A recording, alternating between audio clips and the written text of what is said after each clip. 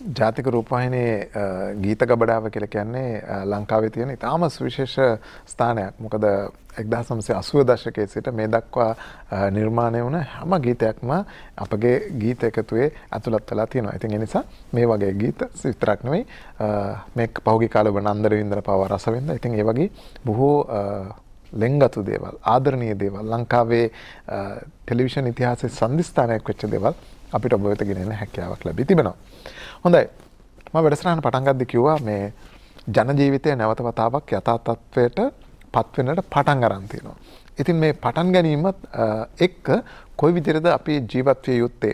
ඒ වගේම අපේ ජීවිතේ වෙනස් කරගත යුතු දේවල් මොනවාද මෙන්න මේ ආදී කාරණා අපි කතා කරන්න බලාපොරොත්තු වෙනවා මේ ගැන කතා කරන්න අප සමග මේ අවස්ථාවේදී එකතු වී සිටිනවා මහාචාර්ය අතුල සුමතිපාල මහට අපේ ඔබතුමාව අයිබෝවන් කියලා පිළිගන්නවා අයිබෝවන් එතුමන් ජාතික මූලික අධ්‍යයනය ආයතනයේ සභාපතිවරයා වශයෙන් කටයුතු කරනවා. ඒ වගේම සෞඛ්‍ය හා සමාජීය පර්යේෂණ හා සංවර්ධන ආයතනයේ ගරු අධ්‍යක්ෂකවරයා වශයෙන් කටයුතු කරනවා.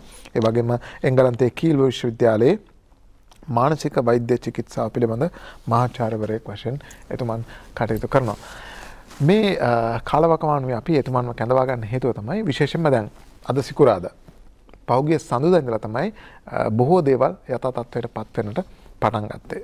මයි 11 වෙනිදා කියන දවස අපේ රටේ සංදිස්ථානයක් බවට පත් වුණා. මොකද අපි COVID-19 වසංගත තත්ත්ව නිසා නිවෙස් වලට වෙලා ඉඳලා බොහෝ ආරක්ෂක ක්‍රියාමාර්ග අරගෙන ඒ සටන සාර්ථකව ජයග්‍රහණය කරමින් එහි අගට කෙලවරට ඇවිල්ලා තියෙන අවස්ථාවක ජන ජීවිතය නැවත යථා තත්ත්වයට පත් කිරීම සඳහා පියවර ටිකක් ගත්තා.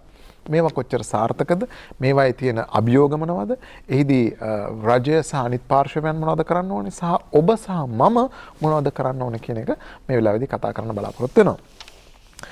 ඔබතුමා මේ සියල්ලම දෙස අවදින් බලා සිටි කෙනෙක් විදිහට පසුගිය දින හතර ලංකාවේ යම් කිසි විදිහකට ජීවිතය අතතත්වයට පත්වෙන්ට දරපු උත්සාහය ප්‍රයත්නය සාර්ථකයි කියලා හිතනවාද? ඒකට කෙටි උත්තරයක් ඔව් හෝ නැහැ කියලා දෙන්න මම කැමති නැහැ. අපි ඒක සාකච්ඡාවට ලක් කරමු. හැබැයි වැදගත් වෙන්නේ ආමන්ත නිවැරදි ලෙස අද අපි කරනවා වගේ ආපසු හැරී බැලීමක්. බරපතල සිංහල වචනයක් කිව්වොත් ප්‍රත්‍යාවේක්ෂණ එහෙම නැත්නම් ඉංග්‍රීසියෙන් අපි රිෆ්ලෙක්ෂන් කියනවා. මේ අපි ඕනම ගන්න ක්‍රියාමාර්ගයක් හරි වැරදි බව තීන්දුව වෙන්නේ ආපසු හැරිලා බැලුවම කාලය විසින්. එතකොට ඉස්සර අපි ගමු මේ දවස් 4 තත්ත්වය කොහොමද දැන් රට මම විශේෂයෙන් පැහැදිලි කරන්න කැමති තරමක් දුරට විවෘත කරා කියන වචනේ තමයි මම පාවිච්චි කරන්න ඕන. මොකද අපි මේ මනෝභාවය හරියට හදා ගන්න ඕන. මේක දැවැන්ත ගෝලීය අර්බුදයක් ගෝලීය වසංගතයක් බලාපොරොත්තු සූදානම් නොවී හිටපු වෙලාවක ගිය නොවැම්බර් වල ඉඳලා ආපු එකක්. බලවත් ජාතීන් දැඩි ලෙස මේකට ඒකේ වින්දිතයන් බවට පත් වුණා. එහෙම තියෙද්දි මේ වෙච්ච හදිසි විපර්යාසයට අපි ඊටාම සාර්ථක මුණ දීලා තියෙනවා මම ඒක විස්තර කරන්නම් පස්සේයි මම එහෙම කියන්නේ කියලා. ඒකත් එක්ක නැවත හුරු පුරුදු ජන ජීවිතයට මේක අතිශය ආරම්භය පළවෙනි හෝරාව.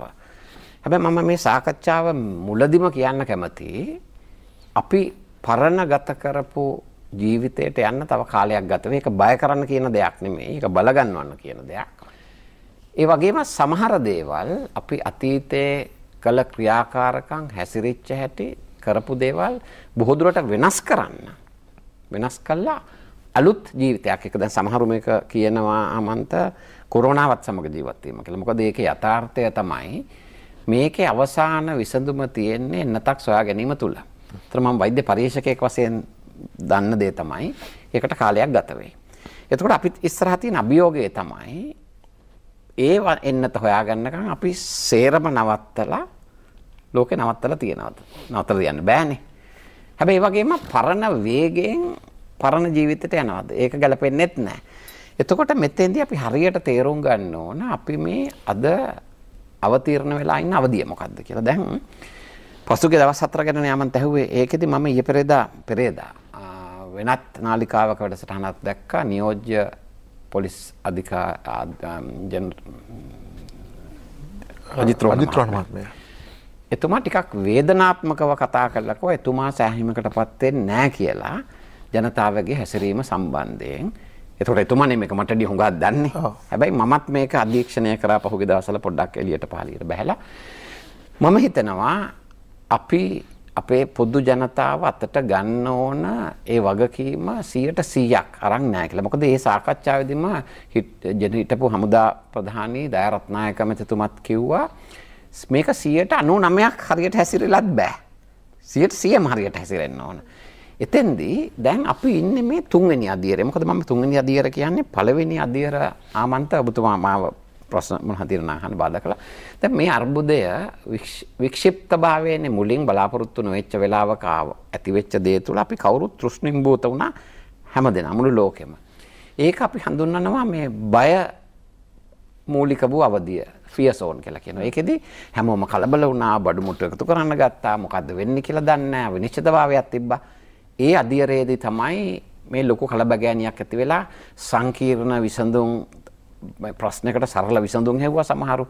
හැබැයි අපි පස්සේ කතා කරමු ඒකෙදී අපි ජාතියක් වශයෙන් කොහොමද මුණ දුන්නේ කියලා ඊළඟට දෙවනි අධියරයේදී ඒ පළවෙනි අධියරයේදී තමයි එහෙම මිනිස්සු කලබල වෙලා අඳුරනීති අයින් කරපු ගමන් ඇවිල්ලා හෝ ගාලා බඩු එකතු කරන්න පටන් අරන්. හැබැයි දෙවනි අධියරදී වෙන්නේ ඉගෙනීම. ටිකක් තැන්පත් වෙනවා. මනසේ සංකුලතාවය අඩු වෙනවා. කල්පනා කරන්න පටන් ගන්නවා. අන්න ඒ අවධියේදී තමයි අඳුරු නීති අයින් කරත් මිනිස්සු පාරට එන්නේ නැත්තේ. දැන් මේ අපි ඉන්නේ තුන්වෙනි අවධියේ. තුන්වෙනි අවධිය තමයි growth zone කියලා අපි ඒකට කියන්නේ වර්ධන වෙන අවධිය. දැන් දැන් මේ අවස්ථාව තමයි යථාර්ථවාදී විදියට හිතලා කල්පනාවෙන් මේකට අවතීර්ණ. එතෙන්දී රජයක් වශයෙන් නිවැරදි ප්‍රවේශයකට ආවා. මොකද රජයකට වගකීමක් තියෙනවා එක පැත්තකින් ජනජීවිතයේ ජීවිත ආරක්ෂාව එක ජාතික ආරක්ෂාවේ පුළුල්ම තරයෙන් අරගෙන අවතීර්ණ වෙන අතරේ ඒකේ අනිත් සමස්තය පිළිබඳ කටයුතු කරන්න. දැන් මේක වෛද්‍යමය ප්‍රශ්නයක් විතරක් නෙමෙයිනේ. සෞඛ්‍ය ප්‍රශ්නයක් තිබ්බා. ජීවිත තර්ජනයක් එක්ක. නමුත් ඒකට දැන් ගිලෙන නැවකින් මිනිස්සු ගොඩ ගන්න බෑ. කල්පනා කර කර සාකච්ඡා කර කර ශනික පියවර ගත්තා. ගත්තාම ওই ලොක්ඩවුන් කියන දේ කරා ආන්දර නීතිය දැම්මා. ඒක නිසා ජනතාවට ගෙවල් වලට වෙලා ඉන්න සිද්ධ වුණා. ඒකේ ප්‍රතිඵලයක් ප්‍රතිඵලයක් ලෙස ආහාර අර්බුදයක් ආවා මිනිසුන්ට හදිසි දවස්වල. එතකොට මේ හැම සමස්ත චිත්‍රය දිහා බලලම කටයුතු කරා කරලා මේ තුන්වෙනි අදියරට ඇවිල්ලා තිනවා. ඒකෙදි පළවෙනි අදියර දෙකේ බරපතලම වගකීම් ටික තිබ්බේ ගරු ජනාධිපතිතුමා අගමැතිතුමා ඇතුළු දේශපාලකයන්ට කැබිනට් එකට ඊළඟට ත්‍රිවිධ හමුදාවල් ඇතුළු කාර්ය මණ්ඩලවලට සහ සුව විරුවන්ට ඒ කාර්ය මණ්ඩලවලට. මම බරපතල ලෙස විශ්වාස කරනවා ඒ සියලු දෙනාම තමන්ගේ වගකීම යුතුයකම 100%ක් කරලා තියෙනවා. දැන් ඇවිල්ලා තියෙන්නේ ලැබූ සමස්ත ජයග්‍රහණය සුරකින ආරක්ෂා කරන වැඩි දියුණු කරන තහවුරු කරන භූමිකාව ජනතාව කිරීම. ඒක තමයි ඔබතුමාගේ ප්‍රශ්නෙට මම දෙන උත්තරේ. එතෙන්දී අර අපි කිව්වා වගේ නියෝජ්‍ය පොලිස්පතිතුමා කියනා වගේ මමත් සෑහීමකටපත් වෙන්නේ නැහැ. ජනතාව තමන්ගේ භූමිකාව 100%ක් ඉෂ්ට කරා කියලා. ඒක දෝෂාරෝපණයක් නෙමෙයි ආමන්ත. ඒක මේ දේ අපි හැරිලා බලන්න ඕන. මේක වඩා හොඳින් කරන්න ඕනේ කොහොමද කියලා කියන්න. මම දිගට කතා කරමු සබතුමාට අවස්ථාවක් දෙන්න අතුරු ප්‍රශ්නයක් තියෙනවා නම් අහන්න. ඔව්. නෑ අපි ඔක ඉවර කළේ. හරි. එතකොට එතෙන්දී ඔබතුමා අහයි මොකද්ද මේ ජනතාවගේ වගකීම? දැන් ගම්පහ කොළඹ දිස්ත්‍රික්ක දෙක ඇරුණම අනිත් තැන්වල ඇරලා තියෙනවා. මම අහනවා ගුවන් විදුලියේ රූපවාහිනියේ නැවත නැවතත් නැවත නැවතත් බලධාරීන් විසින් කියනවා අත්‍යවශ්‍ය නොවන කටයුතු වලට එළියට එන්න එපා. නෑගම් යන්න එපා. මොකද මේ පළමු පැය මේක අවුල් කරගත්තොත් අපි ලැබපු ජයග්‍රහණය ආපසු හැරවෙන්න පුළුවන්. මොකක්ද අපසර වෙන්න පුළුවන් කියන්නේ මේ රෝගය නැවත ව්‍යාප්තිසවසවන්න ඉඩකඩ තියෙන කියන එක කතන්දරේ. මොකද ඒකට හේතුව දැන් හොඳ ප්‍රවෘත්තිය මොකද්ද? මේ රෝගය සමාජගත වෙලා නැහැ. මම දන්නවා අමන්ත මේක කියන්න ඕන දෙයක්. සමහර උදවිය බලන් හිටියා මරණ ගාන සිය ගණන් වලින් දහස් ගණන් වලින් ගණන් කරන්න එක පැත්තකින් මේකට සාධාරණ ලෙස බයක් ඇති කරගත්ත කොටසක් හිටියා ලෝකයේ තියෙන තත්ත්වේ දැකලා.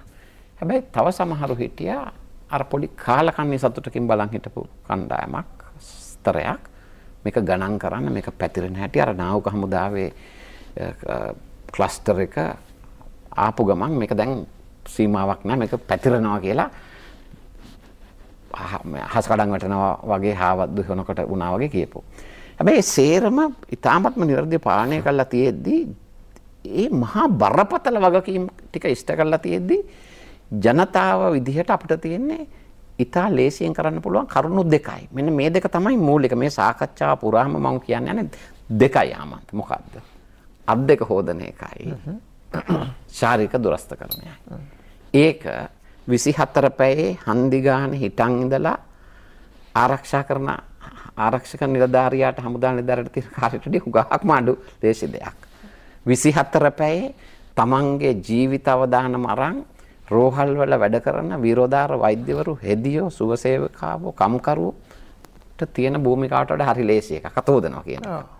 තප්පර 20ක් අත හොදනවා කියන එක. දවසට හතර පට පාරක් අත හොදනවා කියන එක. ඒ වගේම ශාරික දුරස්ථභාවය අපි ඒ වචනටත් එන්න ඕන. ශාරික දුරස්ථභාවය පවත්වාගෙන යෑම. ඒකත් හරි ලේසි. වෙනදට වැඩිය පොඩ්ඩක් ඈතෙන් හිටියා. හැබැයි ශාරීරිකව ගනුදෙනුව කරනවා කතා කරනවා. මේ මේක හරහා අපි කියන්න හදන්නේ මොකද්ද? ජනතාවට බරපතල වගකීමක් තියෙනවා. මේ මේ අර්බුදයට මුහුණ දීමේදී පාර්ශවකරුවන් බවට පත් වීම. ඒගොල්ලෝ නිහඬ ප්‍රේක්ෂකයෝ වෙන්න බෑ. මේ සේරම වගකීම් ජනාධිපතිතුමාට එතුමගේ පඩියත් පරිත්‍යාග කරලා කැබිනට් මණ්ඩලය පරිත්‍යාග කරලා හැමදෙනාම පරිත්‍යාග කරලා අපේ කුස පුරවන්න කියන ඒ අයිතිය ගැන විතරක් කතා කරන වෙලාවක් නෙමෙයි මේ. එතකොට සමාජයේ සියලු දෙනාටම දැවැන්ත වගකීමක් යුතුයකමක් තියෙනවා අපේ භූමිකාව මොකද්ද? අපේ අයිතිය විතරක් නෙමෙයි අපේ යුතුයකම සහ වගකීම මොකද්ද? ඒ වගකීමේ හරි ලේසි ප්‍රමාණයක්. දැන් මේ වගේ අර්බුදයකදී බොහෝ විට දැනෙන දේනේ බඩට වදින එක.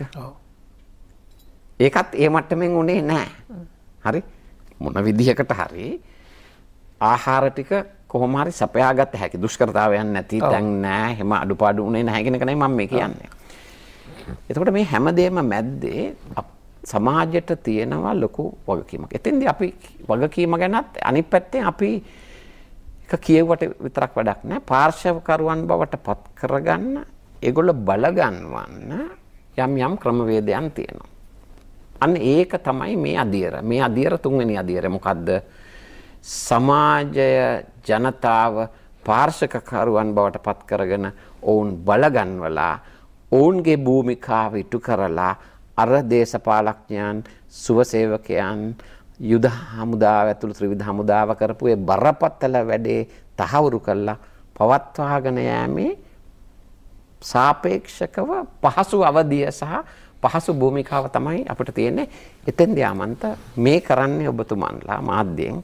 අන්නේ ජනතාව බල ගැන්වීම සහ ජනතාව පාර්ශකව කරුවන් බවට පත් කළා. Tamanට කළ හැකි පහසු කටයුත්ත කරන්නේ කොහොමද කියන එකේ පසුබිම හදන එක. දැන් ওই කතාවේදී අපි මෙහෙම තව චුට්ටක් ගැඹුරට ගියොත් එහෙම දැන් පළවෙනි අවස්ථාවේදී අපි රටෙන් නීති දානකොට නැත්තම් මේ දේවල් කරන්න එපා ඇතුළට ලයින් කියද්දි ජනතාවගේ යම් කිසි විදියක ප්‍රතිරෝධයක් තිබුණා ඒක. මොකද අනවබෝධය නිසා.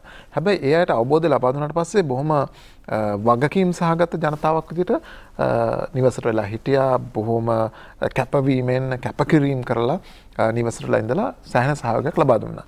ඊට පස්සේ දැන් ක්‍රමක්‍රමයෙන් සමාජය විවෘත වීමත් එක්ක නැවත ජනතාව නොයිවසිල්ලට පත් වෙලා තියෙනවා තමන්ගේ ජීවිතය කටයුතු කරගෙන යන. ඒක පොඩ්ඩක් මෙහෙම විග්‍රහ කරුවොත් එම පළවෙනියටම මේ ඇඳිර නීතිය නැත්නම් ලොක්ඩවුන් වීමත් එක්ක අර්බුදයකට ලක් වෙච්ච පිරිස තමයි දෛනික ආදායමක් ලබපු පිරිස. කුලී වැඩ දවසේ කුලී වැඩ කරපු අය. ඊට පස්සේ ස්ථිර නොවන රැකියාවන් කරපු අය. ඊට පස්සේ දැන් මාස දෙක ඉවරනකොට ක්‍රමක්‍රමයෙන් බොහෝ පෞද්ගලික ආයතනවල පවා වැටු භාගය සහ සමහර අයට භාගයටත් වඩා අඩුවීම යම් කිසි විදියක දුෂ්කරතාවයකට පත්වලා. දැන් ඒ අය සෑහෙන අසහනයකට පත්වලා තියෙනවා. දැන් කොහොමද අපි ජීවත් වෙන්නේ? සාමාන්‍යයෙන් කොහොමද අපේ දරුවන්ට කන්න බොන්න? දෙන්නේ අන්න එතෙන්ට අපි කොහොමද මේ වෙලාවේදී අපගේ අවධානය යොමු කරන්නේ? එතන විසඳුවේ නැත්නම් ආපහු ජනතාව අසහනයට පත් වෙන නිසා මෙහෙම යමන්ත ඔය ඔය ප්‍රශ්නේ දිහා බලන්න ඕන සමස්තය ඇතුළේනේ. මම කියන්නේ නැහැ එහෙම අභියෝගයකට යම් සමාජ ස්තරයකට මුහුණ දෙන්න සිද්ධ වුණා. මකනෙකව ද මේක ගෝලි අර්බුදයක්. ගෝලි අර්බුදය තුළ සංකීර්ණ අර්බුදයක් තුළ මේ ෂණික හදිසි විසඳුම් අපි කැමති වුණත් නැතත් අනපේක්ෂිත වෙලාවක ආව. එතකොට එතෙන්දී අපේ ප්‍රමුඛතාවයන් ප්‍රමාණයක් තියෙනවා. දැන් එතෙන්දී ඔය ඔබ කියපු හැසිරීම් රටාව ආවේ ඕන මර්බුදයක ඒක රෝගයක්ද යුද්ධයක්ද එහෙම නැත්නම් හදිසි වෙනත් ආපදාවක්ද? ඒ වගේ තත්වයකට මුණ දුන්නා මම දැන් ඊළඟට කතා කරන්නේ වෛද්‍යවරයෙක් විදිහට මේක දිහා. අපේ ශරීරය ඇතුලේ ඇඩ්‍රිනලින් කියලා හෝමෝනයක් ස්‍රාව වෙන රසායන ද්‍රව්‍යයක්. ඒක විසින් කරන්නේ අපේ ශරීර ක්‍රියාකාරීත්වය වැඩි කරනවා. අපිට අපි ඒකට ඉංග්‍රීසියෙන් කියනවා ෆ්ලයිට් ෆ්ලයිට් or ෆයිට් එක්ක සටන් කරනවා එක්ක පලා යනවා එක්ක බය වෙනවා. ඒ ඒක ඊළඟට ජවයක් බවට පත් වෙලා තමයි ඒ අර්බුදයට විරුද්ධව සමහරු සටන් කරනවා සමහරු පලා යනවා. ඕක ඇතුලේ ලොකු මානසික කැළඹීමක් එනවා. ආවම අවිනිශ්චිතභාවය. එතකොට අර මාස්ලෝ කියලා තියෙනවා hierarchy of needs කියලා එක එක්කෙනාගේ තියෙන අපි සමස්ත මිනිස්සු වශයෙන් ගත්තාම අපේ තියෙන අවශ්‍යතාවයන් තියෙනවා. එකක් තමයි කැම්බීම් මිදු පිටු මැදු බලතු. ඒ වගේම සමාජ ආරක්ෂාව. දැන් මේ වගේ අර්බුදයකදී ජනතාවට වැදගත්ම දේ තමයි ආරක්ෂාව ජීවිත ආරක්ෂාව සෞඛ්‍ය ආරක්ෂාව. එතකොට ඒකට ක්‍රියාමාර්ග ගන්නකොට ඔබ කියපු ඔය ආහාරවල යම් යම් සාපේක්ෂ අඩුපාඩුකම්. ඒ වගේ දේවල් සිද්ධ වෙනවා. මම කියන්නේ ඒක වළක්වන්න බෑ. ඒක ජනාධිපතිතුමාගේ වැරද්දවත්, ත්‍රිවිධ හමුදාවේ වැරද්දවත්, අගමැතිතුමාගේ වැරද්දවත්, කැබිනට් එකේ වැරද්දවත් නෙමෙයි. ඒක හදිසි ඇති වෙච්ච අනපේක්ෂිත. එහෙම වුණා. හැබැයි ඒක ඇතුලේ මම දකින දේ තමයි ඒ සියලු පෞද්ගලික සහ සමාජීය අගතීන් අවම කරන්න ආණ්ඩුව පැත්තෙන් සාධාරණ හැකි උපරිම මැදිහත්වීම් කර. දැන් ඔබ දන්නවන්නේ ලක්ෂ ගානකට රුපියල් පන්දාහ ගන දුන්නන එක ඇත්තනේ. එතොට සමහර වෙලාවට මේ රුපියල් පන්දහ නොදෙන්න ඕන අයවත් හඹාගෙන ගිහින් දුන්න. එකැන සමහර බස් තියෙන ගෙවල් දොරවල් තියෙන එතෙන්දි ඇත්තට මාණ්ඩුව පැත්තෙන් මං මතියමතුරු කීප දෙනෙක් තර්ක කරලා එක මං කිව්වම ඒක ඕන නෑ කියලා. ඒගොල්ලෝ දැක්ක එහෙම නෙමෙයි. වත්කම් තිබුණාට ආදායම හැම වුණා. ඒක නිසා කමක් නෑ. මම කියන්නේ මොනතරම් සර්දාවෙන් දේ වැඩේ කරේ. එතකොට එහෙම කරා. ඊළඟට අපි දන්නවා ආහාර පුළුවන් ක්‍රමයකට ගෙවල් වලට ගිහිල්ලා දෙන්න කටයුතු සැලසුම් කරා. ඊළඟට මම දැක්ක හාම්පුතුන් එක කතා කරලා වැටුප් කපන්න එපා කිව්වා. හැබැයි මේ මේ ආපදාව ඇතුලේ ඇතිවෙච්ච හදිසි වෙනස් වීම තුළ මනුස්ස ස්වභාවය තමයි හමන්ත මිනිස්සු වශයෙන් අපි මානව වර්ගයක් එකක් තමයි වෙනසට අපි කැමති නැහැ. මොකද අපි අපි පුරුදු වෙච්ච ක්‍රමයක් තියෙනවා. ඒක හරි කම්ෆර්ටබල් පහසුයි. හැබැයි මෙහෙම අභියෝගවලට මුණ දෙන්න වෙනකොට සමහරලාට අපිට යම් ආකාරයක දේවල් කප්පාදු කරන්න වෙනවා. ඒ කියන්නේ අපි තුන් වෙලා කාපු අයට සමහර වෙලාවට දැන් අපේ ගෙදර උනත් ඒක නැතිබරි කමට නෙමෙයි. අපි වේල් දෙක සීමා කරගත්තා. මොකද හල පහලත් එක බෙදා හදාගත්තා. එතකොට මම දන්නවා රජයේ මැදිහත් වෙනවා එක පැත්තකින් සමාජ සේවා කරන උදවිය මැදිහත් වෙන එක පැත්තකින් කොහොම කොහොම හරි අපි කවුරුත් මම දන්නේ මම හිතනවා 99.9 මම නිවැරදි කියලා බඩගින්නේ කවුරුත් මිය ගියා කියලා හරි අසරණ වුණා කියන හරි මහා පරිමාණය. හැබැයි සමහර තැන්වල ගම්වල දුෂ්කරතාවයන් තියෙන තැන්වල හැබැයි එතෙන්ට දැන් මම ආය අර බල ගැන්වීමට එන්නේ මෙහෙමයි. දැන් එකක් නේ අපිට බලාපොරොත්තු වෙන්න බල හරි මේ හැමදේම ආණ්ඩුව දෙන්න ඕන. කෑම වේල ගෙදරට ගෑල් දෙන්න තව කෙනෙකුට ගන්න පුළුවන් හැම්බැව් වේලක් දෙන්න ඕන කියලා. හැබැයි ඒකත් එක්ක මේ අපේ අවශ්‍යතාවයන් මේව කරගන්න මම දැක්කා චීවර ඇඳගත්ත අපේ හාමුදුරුවන් කුඹුරු කොටනවා. හරි? එතකොට අන්න අභියෝගයක් ආවා. ඒ අභියෝගයට හදිසියේ අඩුපාඩුකම් සිද්ධ වුණා. අර ග්‍රෝත් සෝන් එහෙම නැත්නම් වර්ධන කාලය ගැන හිතලා දැන් දැන් උදවිය ආහාර වගා කරන්න පටන් අරන් තියෙනවා. ඒ ඔක්කොමත් එක්ක මේ වෙලාවේදී මම ඔබතුමාගේ අවධානය යොමු කරන්න උත්සාහ කරන්නේ දැන් අර වගේ යම් කිසි විදියක අපහසුතාවයකට පත් වෙලා හිටපු අය දැන් බලන උත්සාහ කරන දේ තමයි කීයක් හොයාගන්න ඕන. නැත්නම් මට ඊළඟ මාසේ ගෙවල් කුලිය ගෙවන්න හම්බෙන්නේ නැහැ. ලයිට් බිල දැන් ඇවිල්ලා තියෙනවා, වතුර බිල ඇවිල්ලා තියෙනවා. මේවා ගෙවන්න ඕන. දරුවන් ඊට පස්සේ අධ්‍යාපනයට අපෝ යොමු කරන්න ඕන. දැන් මෙයා බලන්නේ හැම කෙනෙක්ම හරි. මගේ පඩිය ලක්ෂයක් ගත්තේ දැන් මට හම්බ වෙන්නේ රුපියල් 25000 නැත්නම් 30000යි. කොහොමද මම ඉතුරු ටික හොයාගන්නේ? මොකද අර වියදමට දැන් හැඩ ගැහිලා ඉන්නේ. ඒ වියදම් ටික අනිවාර්යයෙන්ම තියෙන වියදම් ටිකක්. ඒ නිසා මොකද්ද මම කරන්න ඕන? අන්න එතන අපි කොහොමද එතන තමයි හරි කල්පනාවේ වැඩ. දැන් අපිට එතකොට ඒගොල්ලන්ට තියෙනවා කෙටි ඉලක්කයක් ඒ සමහරු මං කියන්නේ සමස්තය නෙමෙයි. ඔව්. එතකොට ඒගොල්ලෝ ඉලක්ක කරගත්තොත් මේ අඩු වෙන එක ඉක්මනින් හදාගන්නේ කොහොමද කියන ව්‍යායාමයට ගිහින් ආයිත් මාස දෙකක් ලොක් කරන්න වුණොත් මොකද වෙන්නේ? ආයි ආපස්සට යනවා අපි ඊටත් වඩා දේවල් නැති වෙනවා. ඒක නිසා දැන් අපි හුරු වෙන්න ඕන ඔව් මස් රාත්තලම ඉල්ලන්න බෑ දැන්. පරණ ජීවිතේ 24 පැයෙන් ගේන්න බෑ මොකද මේ වසංගතය ගෝලීය වසංගතයක් ඒක 100ට 100ක් පාලනය කිරීම අපේ පාලනයෙන් පරිබාහිරයි. ඒක 100% පාලනය කරන්න පුළුවන් එන්නත හැදුවම. එතකොට අපි ලංකාව ඇතුළත අපි ඒකට එමු සාර්ථකව මේක පාලනය කරාට ගෝලීය අර්බුදේ තාම තියෙනවා. ඒක තුල කොහොමටවත් බෑ අපිට අර පරණ ජීවිතයට 24 පැයෙන් එහෙම නැත්නම් සතියෙන් මාසෙන් යන්න. එහෙම උත්සාහ මේක මේක තේරුම් ගැනීම හරි වැදගත්නේ. දැන් සමහර අපේ පෞද්ගලික ජීවිතත් එනවා අපි අනපේක්ෂිත වෙලාවක කාට හරි පිළිකාවක් හැදෙනවා. එතකොට බෙහෙත් ගන්න ඕන. සල්ලි වේදම් කරන්න ඕන. එතකොට අපේ සමහර අපි විශ්වාස කරන පෞද්ගලික අයිතිවාසිකම් සතුට භුක්ති විඳීම පරිභෝජනය අඩු කරලා අපි අර අපේ අම්මට හරි තාත්තට හරි සහෝදරයට හරි ඒ පිළිකා වැළඳිච්ච කෙනා වෙනුවෙන් වියහියදම් කරන්න. අපේ වියදම් කපා හැරලා උදව්පකාර වෙලා වෙනදක් කරපු දිනචරියාවෙන් වෙනසලා කටයුතු කරනවා. එතකොට මම කියන්නේ මේක අන්න එතෙන්දී තමයි අපි දකින්න ඕන. මේක අපි gederin පටන් ගන්න ඕන කියන තැන. අපේ වැඩේ අපි අතට අරන් gederin පටන් ගන්න ඕන. මොකද එහෙම එහෙම හිතන්න ගත්තොත් මේක තේරුම් ගන්න හරි ලේසි. ඔය මං කිව්ව රෝගී තත්ත්වය.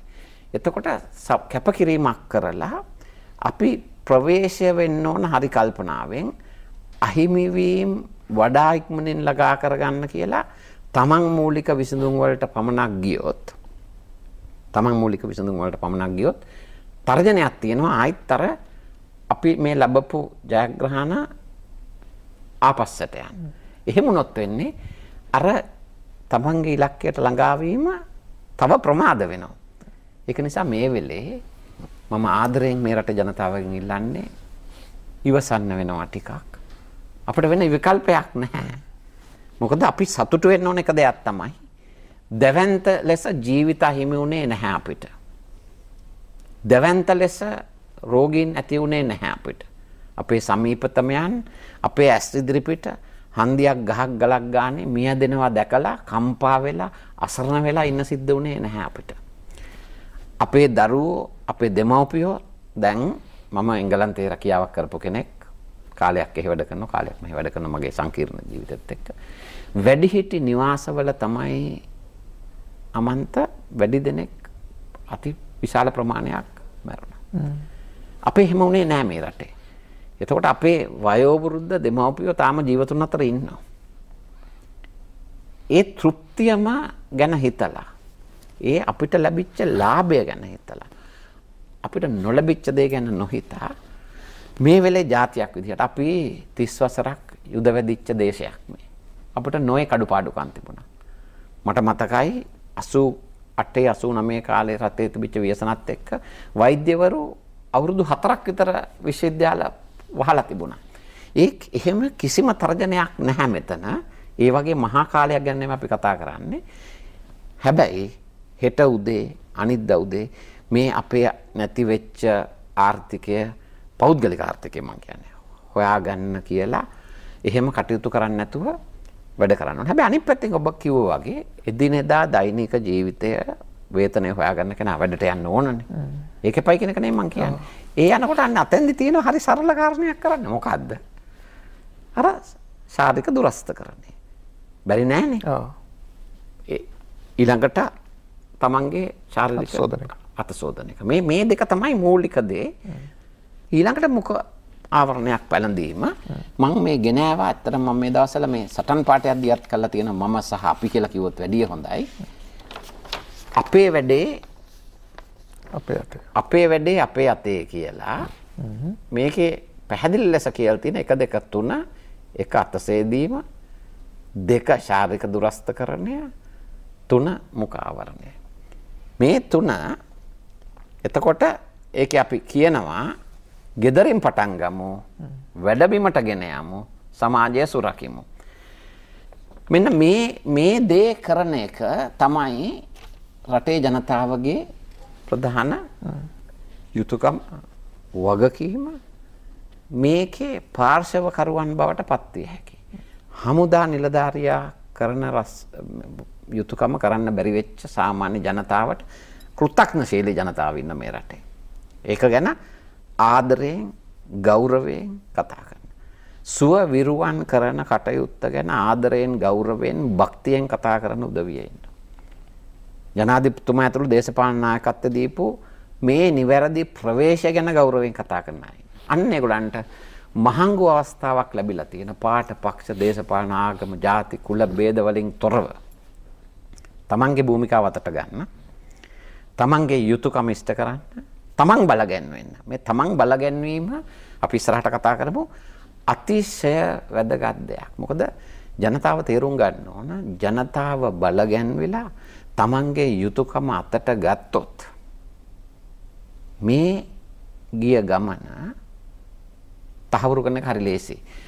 එතෙන්දි මම විශේෂයෙන් කියනවා අපි ජාතියක් විදිහට ඒ වගේ අවස්ථාවල් කීපයක් අතෑරපු ජාතියක්. මේ වෙලේ ඒවයිනුත් පාඩමක් ඉගෙන ගන්න විශේෂයෙන් තරුණ පරම්පරාවට. gedara දුවා දරුවට. උසස් පෙළ කරන්න බලන් ඉන්න විශ්වවිද්‍යාලයට යන්න ඉලක්ක තියන් ඉන්න දරුවට. අන්න ලොකු භූමිකාවක් තියෙනවා. අම්මා තාත්තා වැරද්ද කරත්. තාත්තේ අත හෙදුවේ නැහැ අම්මා අත හෙදුවේ නැහැ අල්ලපු ගෙදර කෙනා කරේ නැත්තම්. නැන්ද ඔයා කරේ නෑ වැරදි. මුඛ ආවරණයක් නැත්තම් මේක වැරදි. රණ්ඩු වෙන්න නෙමෙයි. තමන්ගේ භූමිකාව කියන්නේ ඒකයි. ඒක සංයමයෙන් මතුරන්න ඕන. දැන් මන්තරය මොකක්ද මේ මත්ම කළා. දැන් මෙහෙම ගන්නකෝ ආමන්ත. දැන් අපි දන්න දෙයක්නේ. දැන් මේ මේ මේක සමාජ අපි කිව්වා දැන් කොරෝනා උවදුර අර පොකුරු වලට සීමා වෙලා ඒක නවත්තලා තියෙනවා. මේක සමාජයට ගිහින් නැහැ. ඒතර සමාජයට යන එක වළක්වන්න අවසාන භූමිකාව කවුරුවත්ද තියෙන්නේ රටේ ජනතාවට. දැන් මට මෙන්න මේකට උත්තර දෙන්න. දැන් මම මගේ සෞඛ්‍ය ගැන මට අයිතියක් තියෙනවානේ. සෞඛ්‍ය ගැන. අපේ පවුලේ සෞඛ්‍ය ගැන මට අයිතියක්. අපේ පාරේ සෞඛ්‍ය ගැන මට අයිතියක් තියෙනවා. අපේ ගමේ සෞඛ්‍ය ගැන අයිතියක් තියෙනවා. ඒකට තර්ජනයක් වෙන විදිහට කෙනෙක් කටයුතු කරනවා නම් ඒකට සාමකාමී ලෙස එරෙහිවීමේ යුතුයකම වගේ මට තියෙනවා. ඇයි මේ අපේ ජීවිතත් එක්කනේ සෙල්ලම් කරන්නේ. එතකොට විශේෂයෙන් අපි දැක්කනේ අර ජායල මද්ද්‍රව්‍ය පාවිච්චි කරන සමාජ ස්තරයක් මේ රටේ ඉන්න ඕනේ. ඒක පිළිලයක්. ඒක මම කියනවා එක පැත්තකින් මේ ජාතීන් විනාශ කරන එක ආමන්ත මේ කුමන්ත්‍රණ ඇතුලේ මේවත් ආයුධ මාචරතුන් අපි ඔය කතා වෙනම කතා කරන්න ඕන. මන්ත්‍රව්‍යත් එක්ක කියන කතාව වෙනම කතා කරන නිසා අපි ආපහු එතෙන්ට එමු. මේ වෙලාවේදී අපි විරාමයක් ලබා ගන්න ඕනේ. ඉතින් මේ දක්වා කරපු කතාවේ අවසාන ඵලය ඔබට මාපව මතක් කරනවා නම් ඒ තමයි මේ වෙලාව ඉවසන්න තමයි තියෙන මොකද වෙන වෙන විකල්පයක් නැහැ ඉවසීමෙන් බෝම හෙමීට අපි මේ තත්ත්වය ජයගම මොකද දැන් ඉතාම පැහැදිලි මහාචාර්යතුමා කිව්වා වගේ පාලනය කරලා දීලා තිනවා. මේක ඉවසීමෙන් ඉමු. ආර්ථික අපහසුතා තියෙන එක ඇත්ත. සමහර අයට ගෙවල් කුලී ගෙවා ගන්න බැරි එක ඇත්ත. ගෙවල් හිමියා ඇවිල්ලා කරදර කරනවා ඇති. මේ ප්‍රශ්න ඔක්කොම තියෙනවා ඇති. සමහරට ෆෝන් එක ආන්සර් කරන්න නැතුව ඇති. ගෙවල් හිමියා සල්ලි ඉල්ලන නිසා මාස දෙකකින් ගෙවලා ඇති මේ ප්‍රශ්න ගොඩාක් තියෙනවා ඉන්නවා. ඒ සියල්ල අපි දන්නවා. ඉතින් ඒ සියල්ල ඉවසගෙන අපි සමස්ත සමාජයට මම කියන්නේ. ගෙවල් හිමියන්ටත් එක්ක ඒ වගේම හැමෝටම පොදුවේ කියන්නේ අපි තව චුට්ටක් ඉවසගෙන මේ ගමන යමු. එතකොට අපිට ජයග්‍රහණ හොයාගන්න ඉතා ඉක්මනින් පුළුවන් වෙවි අනිත් රටවල් වලට කලින්. මද විරාමයට කියලා නැවත මේ කතා බහට එකතු වෙමු.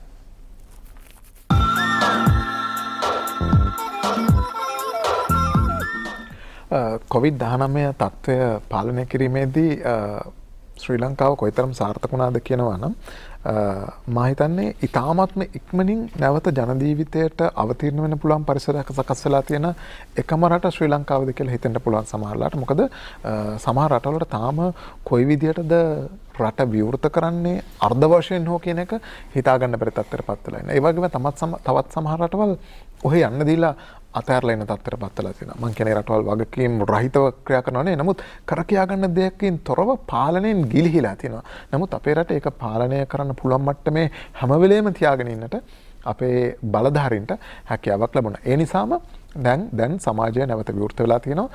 අර්ධ වශයෙන් නැත්තම් බොහොම ක්‍රමක්‍රම විවෘත වෙමින් පවතිනවා.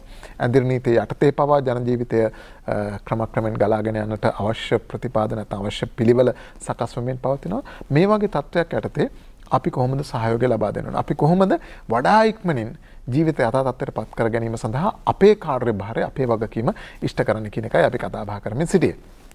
තව පොඩ්ඩක් අපි මේකේ සමාජ විද්‍යාත්මක පැත්තට යමු. මොකද වෛද්‍ය විද්‍යාත්මක පැත්ත මේ වෙනකොට අපි බොහෝ කතා බහ කරලා තියෙනවා. මේ වෙලාවේදී වඩා වැදගත් වෙන ඔබතුමාට මනෝ වෛද්‍ය විද්‍යාව පිළිබඳව පසුබිමක් තියෙන නිසා දැන් අපි මුලින්ම කිව්වන අර එදා වේල හොයාගන්න බැරි දවසේ කුලීකරුවා දැඩි අපහසුතාවයට පත් වුණා කියලා. දැන් දැන් ඔහුගේ තත්ත්වය යථා තත්ත්වයට පත් වෙලා තියෙනවා. මොකද සමහර දිස්ත්‍රික් වලට රෝගේ පැතිරෙන්නට මිඩ දුන්නේ නැහැ ආරක්ෂා කරලා. ඒ නිසා දැන් ඒ ජනතාව තමන්ගේ දෛනික වැඩය කුලිය වැඩේ හොයාගෙන ආපව් ක්‍රමක්‍රමයෙන් තමන්ගේ යථා තත්ත්වයට පත්වමින් සිටිනවා.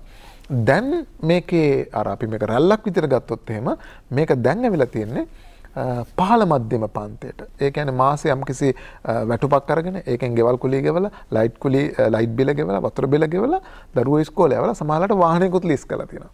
ඔන්න ඔය අයට තමයි දැන් ලොකු මානසික පීඩනයක් අත්දලා තියෙන්නේ. මෙන්න මේ කොට්ටාශයට මේ වෙලාවේ අපිට මොකද්ද කියන්න පුළුවන්? ඔව් මෙහෙම ගමුකෝ දැන් ඔබතුමා කිව්ව දේ මම නිෂේධ කරන්නේ නැත්ත. අපි මේක හරියට තේරුම් බේරුම් කරගන්න ඕන. දැන් ওই කියන අභියෝගේ තියෙනවා. දැන් එතකොට අපේ යුතුයකම වගකීම මොකද්ද? ඒ කණ්ඩායමට ඒ සමාජ ස්තරයට මේ අභියෝගයට මුහුණ දෙන්න හැටි තේරුම් කරලා දෙන නිසා මම ටිකක් පුළුල් ප්‍රවේශයකට එන්නම්. ඔබතුමා අහලා තියෙනවානේ කිසා ගෝතමී තමන්ගේ දරුවා මැරුණම බුදුහාමුදුර ගාවට ගෙනිච්චා. ජීවිතේ ඉල්ලුවේ ආයි. දෙන්න බෑනේ. ඒක ඇත්ත කතාව. හැබැයි බුදුරජාණන් වහන්සේ ඒක කියන්නේ නැතුව මොකද්ද කිව්වේ ගිහිල්ලා මැරිච්ච නැති ගේකින් අබාරන් එන්න කිව්වා. එතකොට ඉසගොතමි ගියේ. තනින් තැනට ගියා, තනින් තැනට ගියා, තනින් තැනට ගිහලා පසක් වුණා. මැරිච්ච නැති ගෙවල් නැහැ. මරණය මේක අහිමි වීමක්.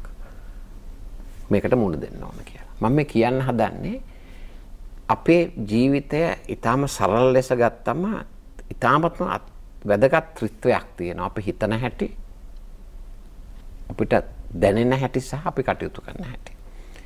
සිතිවිලි තමයි මූලික වෙන්නේ. ඒ සිතිවිලි වලට අනුරූප හැඟීම් තමයි ඇති වෙන්නේ. ඒකට අනුරූප චර්යාවක් තමයි ඇති වෙන්නේ. දැන් මේ සමාජ ස්තරය ගත්තාම ඒගොල්ලන්ගේ ජනිත වෙන සිතුවිලි මොකද්ද? සාධාරණ බයක්. අභියෝග වලට ආදායම අඩු වෙලා.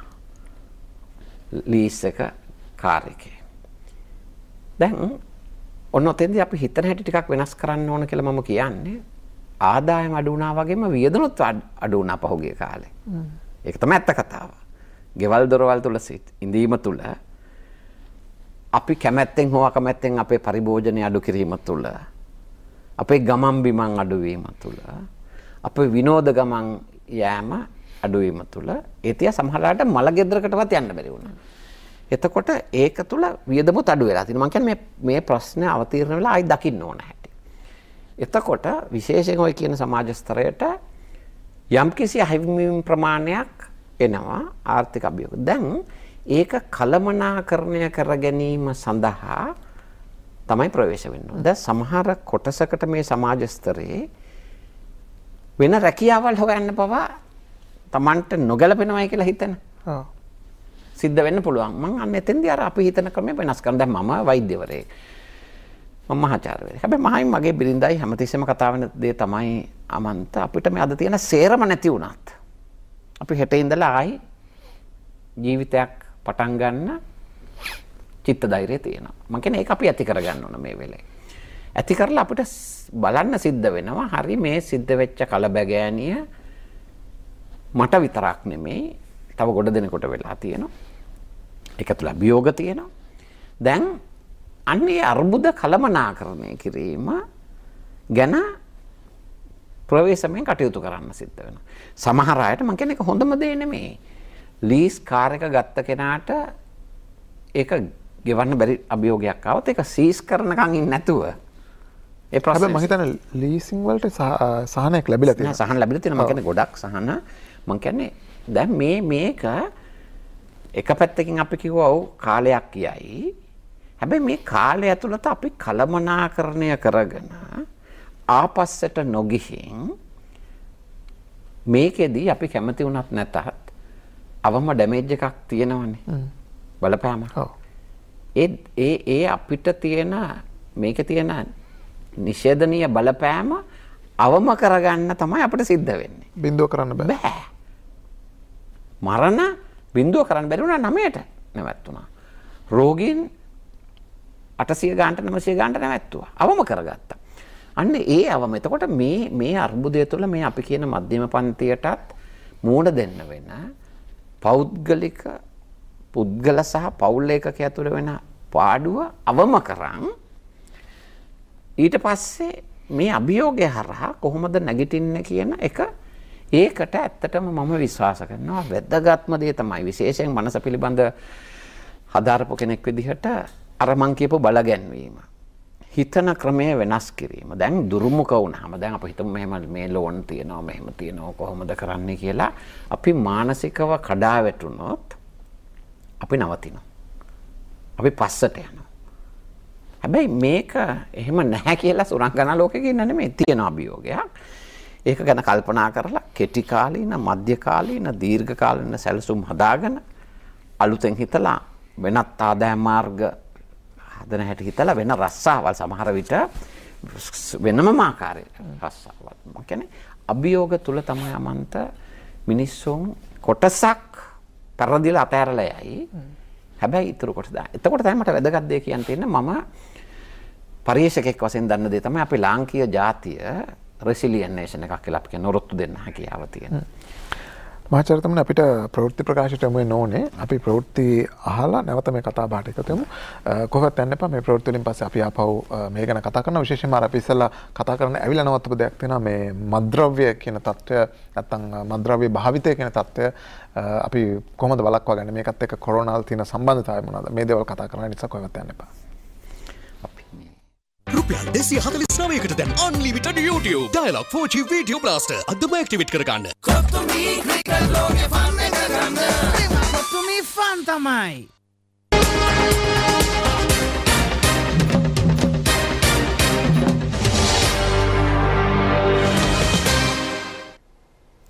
අයිබෝවන් ඔබ එක්වන්නේ ජාතික රූපවාහිනී පැන් ටයිපොත් ප්‍රකාශයත් සමඟයි. ප්‍රථමෙන් අවධානය දේශය පුවත් වෙත. කොළඹ බණ්ඩාරනායක ප්‍රදේශය සහ ජයල සුදුඇල්ල ප්‍රදේශය අද උදෑසන සිට හුදකලා තත්වෙන් ඉවත් කර තිබෙනවා. යුද හමුදාපති ලුතිතන් ජනරාල් ශවේන්ද්‍ර සිල්වා මහතා පවසන්නේ කොරෝනා වෛරස තත්වෙන් හුදකලා කර තිබූ සියලු ප්‍රදේශ මේ වන විට විවෘත කර ඇති බවයි. විශේෂයෙන්ම අද දිනේදී අවසාන වශයෙන් හුදකලාවට ලක් කරලා තිබූ බණ්ඩාරනායක මාවත සහ ජයල සුදුවැල්ල ප්‍රදේශයත් මුදා හැරුණු ලැබුවා. මේ අනුව ශ්‍රී ලංකාව තුළ කිසිදු ගාමානයක් ග්‍රාමයක් හෝ නගරයක් හුදකලාවට ලක් කරලා නැහැ සියලුම ප්‍රදේශ නිදහස් කරලා තිබෙනවා. ශ්‍රී ලංකාව තුළ ඊයේ දිනේදී ආසාදිතයන් දස දෙනෙකු සොයාගනු ලැබුවා කොවිඩ් ආසාදිතයන්. ඒ දස දෙනාගෙන් අට දෙනෙකු ශ්‍රී ලංකා නාවික හමුදාවේ විරෝධාර රණවිරුවන්. ඒත් එක්කම දෙදෙනෙකු ඇවිල්ලා උන්ගේ පවුල්වල අයවලුන් හැටියටයි ඔවුනුත් නිරෝධායන වෙමින් සිටින අයවලුන්. ඒ අනුව ශ්‍රී ලංකා තුළ මේ දක්වා 924 දෙනෙකු කොවිඩ් ආසාදිතයන් හැටියට සොයාගන්න ලැබුවා. නමුත් ඉන් වැදගත් වෙන්නේ 445 දෙනෙකුම සම්පූර්ණ සුවය ලබා නිවෙස් බලා ගොස් තිබෙනවා. තවදුරටත් ශ්‍රී ලංකාව තුළ ආසාදිතයන් හැටියට ඉන්නේ 470ක් පමණයි. දැන් අවධානය විදෙස් පුවතක් වෙත. කොරෝනා වෛරසය හේතුවෙන් ලොව තව දුරටත් වැඩිම බලපෑමට ලක්ව ඇති රට ඇමරිකාවයි. ඉකුත් පැය 24 තුළ එරටින් වාර්තා වූ කොරෝනා මරණ සංඛ්‍යාව 1715ක්. ඉකුත් පැය 24 තුළ ඇමරිකාවෙන් වාර්තා වන කොරෝනා ආසාදිතයින් සංඛ්‍යාව 27246ක්. ඒ අනුව එරට සමස්ත කොරෝනා ආසාධිතයින් සංඛ්‍යාව 14 ලක්ෂ 57 දහස ඉක්මවා ඇත්තේ සමස්ත මරණ සංඛ්‍යාව 86 දහස ඉක්මවා ඇති පසුබිමකයි. ඇමරිකාවේ වෛරසය ආසාදනය වූ 3 ලක්ෂ 18 දහසකට අධික පිරිසක් සුවය ලබා සිටිනවා.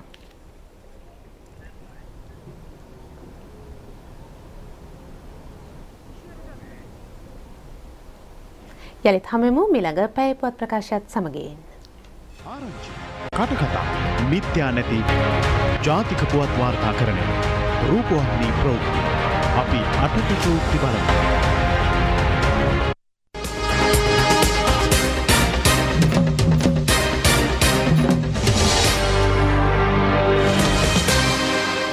දෙසිය හතලිස් නවයකට දැන් අන්ලිමිට YouTube. ඩයිලක් 4G වීඩියෝ බ්ලාස්ට අදම ඇක්ටිවිට් කරගන්න. කොත්තුමී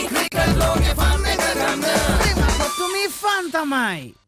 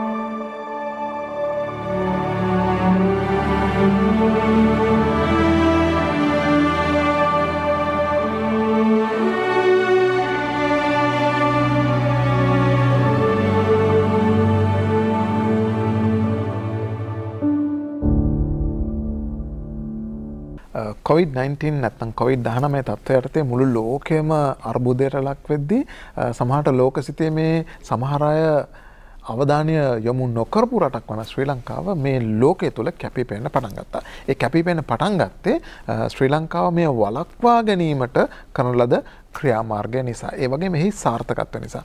එහෙම බැලුවට පස්සේ දැන් අපි මේ පාඩුව ගැන කතා කර ජනජීවිතර චානය ගැන කතා කර අපේ ආදාය මඩුවම ගැන කතා කලා ඉති ම පුංචි උදාහරණයක් ගැන මට තපරකි පැදන්න ලෝකෙටම මේ කොයිතරම් බලපැවදි කෙනන ලෝකයේ ඔලිම්පික් ක්‍රීඩවලලක් අහෝසි කරලා හෝ කල්දාලනෑ දෙවන ලෝක යුද්ධෙන් පස්සේ. ඉතින් ජපානට ඒක කරන්න සිද්ධෝනා මේ වතාවදී ජාතියන්තර ඔලිම්පික් කමටත් එක්ක කතා කරලා බොහෝම අකමැත්තෙන් කරන්න සිද්ධෝන මං කියන ජපානය සඳ විදන් කළ තින මුදව.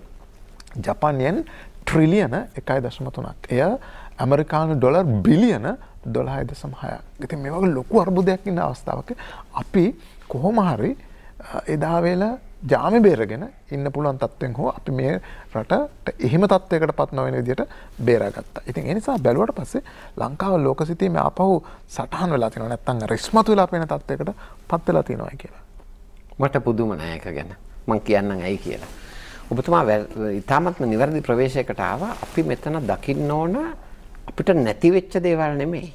අපි මොනතරම් ජයග්‍රහණයක් ලබා ගත්තද කියලා මේක පාලනය කළා. මොකද මේක මීටඩිය මහා විනාශකෙන් කෙලවර වෙන්න තිබිච්ච තත්ත්වයක් ලෝක අර්බුදෙත් එක ගත්තා. ඒකට බලපාපු ප්‍රධාන කරුණු තුනක් තිබ්බ. මම පටන් ගන්නම් වැදගත්ම කියන්නේ අනුපිළිවෙලට නෙමෙයි මම මේ කතා කරන්නේ.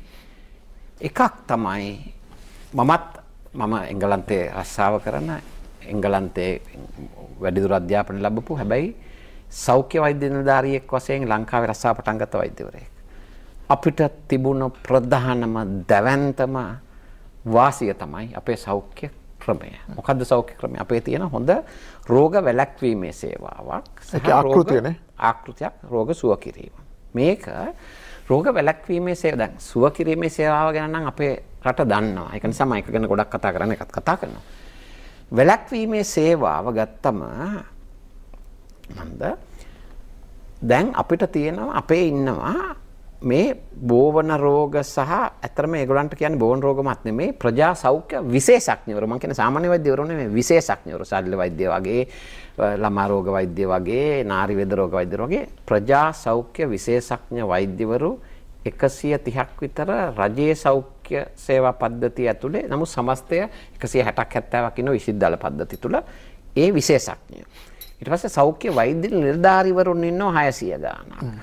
ඒ වගේම මහජන සෞඛ්‍ය පරීක්ෂකවරු ඉන්න 1500කට එහා පැත්තේ. පෞල් සෞඛ්‍ය නිලධාරීන් ඉන්නවා හැම ජනගහනෙම 3000කට 5000කට එක්කෙනෙක් ඉන්න. දැවැන්ත රෝග වැළැක්වීමේ සේවාවක්. ඒ රට පුරා විසිරිත. මධ්‍යගතව ගත්තාම අපේ තියෙන වසංගත රෝග වැළැක්වීමේ විශේෂ අංශයක්. වසංගත රෝග විශේෂඥයෙක් ඉන්නවා. ඒ වගේම නියෝජ්‍ය සෞඛ්‍ය අධ්‍යක්ෂක ජෙනරාල්වරයක් ඉන්නවා. එතකොට මේ මේ මේ ක්‍රමවේදේ ඇත්තෙන්ම මේ තරම් පැහැදිලි ලෙස එංගලන්තෙත් නැහැ.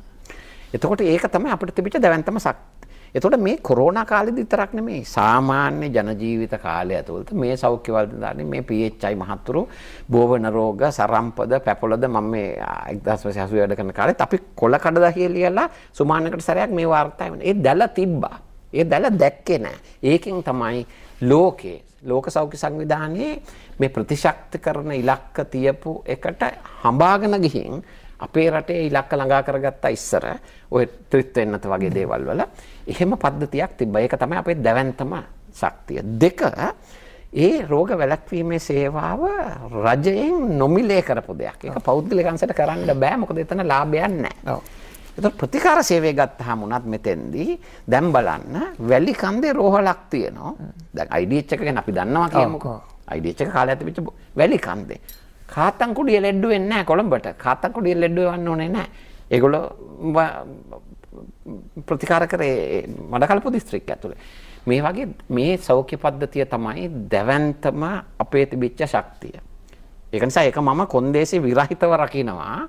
ඒක වැදගත්. දෙක තමයි සුවිශේෂම දේ මුළු ලෝකෙම ඊශ්‍රායලය ඇරුණම ඊශ්‍රායලෙත් මේ තරම් හොඳට කරාද මන් දන්නේ නැහැ වගුවේ එක කියලා කිව්වට අපේ ත්‍රිවිධ හමුදාවල් මේකට බද්ධ කරපු එක. දැන් ඉස්සර PHI මහත්තුරු ගිහිල්ලා රෝගීන් හොයලා කරන වැඩේ අපේ බුද්ධ්‍යංශයෙන් මේ සුසංයෝගේ. මොකද මේක යුද්ධයක්නේ. කොරෝනා සටන කියන්නේ යුද්ධයක්. මොකද වෛරසය වේගෙන් පැතිරෙනවා. මේක ආරක්ෂක ලේකම්තුමා හරිම ලස්සනට නාලිකාවක කිව්වා.